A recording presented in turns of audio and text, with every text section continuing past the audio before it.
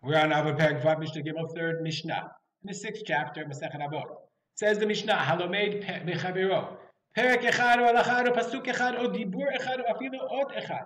Person who learns from his friend a chapter or halacha or a verse or Dibur Echad. Dibur, it's a little hard to understand. Dibur Echad is one phrase, one teaching.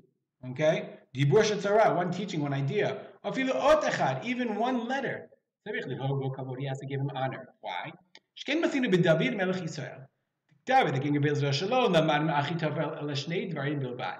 That David learned from Achitofel two things. Achitofel was one of his trusted advisors, but as we know that when the when the rebellion of Avshalom, David's son, came along, Achitofel sided with Avshalom. Bad choice. Okay, so so the Gemara, like often Chazal do, is they sort of villainize people who make bad choices. And they said Achitofel was a Rasha, but David learned two things from him. So what are the two things? Rashi says one thing. He came into the Beit Midrash, David was learning alone. Why are you learning יחידי? שלא נתן חברותא. שוב פעם אחת מסתבר שהיה נכנס לבית מדרשו בקומה זקופה. I saw him walking into the Beit Midrash upright. אמר לו, ולא כבר נאמר מקדשי תירא, where's your fear? Where's your awe?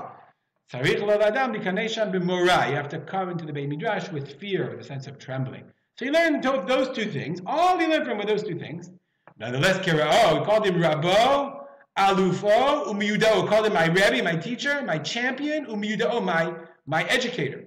Miyudat, someone who taught me things. Shenemar, as it says, Ve'ata enosh ke'erki alufi umiyudai. And you men are ke'erki. Let's look at the uh, translation. Ve'ata enosh ke'erki. But it was thou, a man of my equal, alufi umiyudai my companion and my familiar friend. But, so how does that have to do with Achitofel? So Rashi explains that in the Targum, okay, the Targum explains, where am I, right? One second, he said, let me see if I can find it. Ta'anosh ke'erki. Oh, I'm sorry, not Rashi. I saw it in the Kehati. That's right. The Kehati says, the Targum says, the Targum explains that this pasuk, ve'ata enosh ke'erki, ve'ant achitofel, ha'nachshav li kirab, you um, like a rab, Shlimeritani vodatani chokhmah. So the Targum understood that this pasuk was referring to David relating to Achitophel. Gerki, alufi umuda, you are my champion, Maya, you are my educator.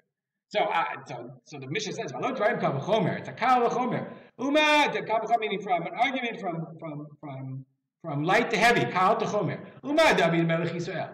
If just as David melech if David the king of Israel, shalom bilbad who only learned only two things from, from Achitophel. Kiro, Rabbo, Alufo. Oh, he called him my Rebbe, my champion, my educator. If you learn from your friend one chapter, or alacha or one alacha, or or dibur or one verse, or one teaching, or if you or even one letter, kama how much more so you have to give him honor. The people who teach you, you have to honor them.